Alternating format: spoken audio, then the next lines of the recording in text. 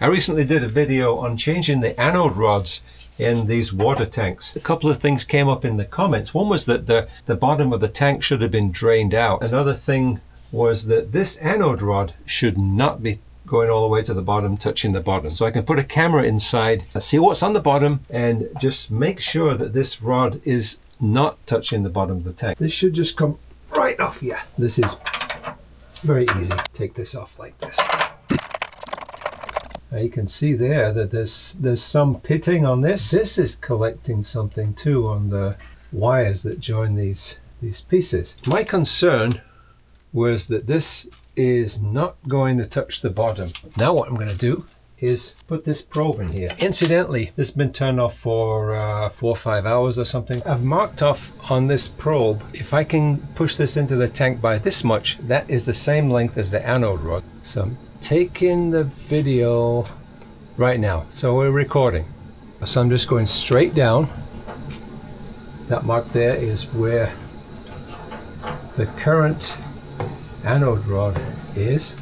So let's see how far off the bottom we are. So that, if that makes it that far, then we're not touching the bottom. There's all the silt. So I'm going to go right and left. So we can see over here all this buildup of stuff in here.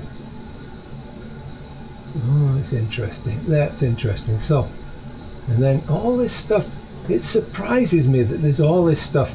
But you see all that crud in there? I don't think that's going to come out when we do a flush. It's like looking at a coral reef. And there is a pipe. Wow, look at the end of that. This is the end of the drain pipe. So that's why when you open the, the drain valve, it doesn't come out so fast because it's, it's all gunked up with this stuff. Based on what we saw inside, I'm taking a, a steel cable tie and I'm going to try and push this into the, the valve. I'm going to try and open this up and we'll just see what comes out.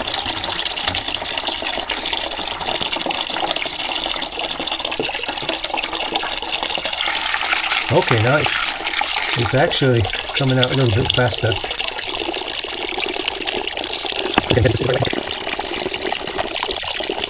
So that's what's in the boiler right now. You know, if you didn't start taking this stuff out every year, it's going to be very difficult to clean. So that's just going to have to stay there. I hope you found that interesting. Give me the thumbs up if you like this and don't forget to subscribe and you can see more of the interesting things that I get up to on DIY with JC.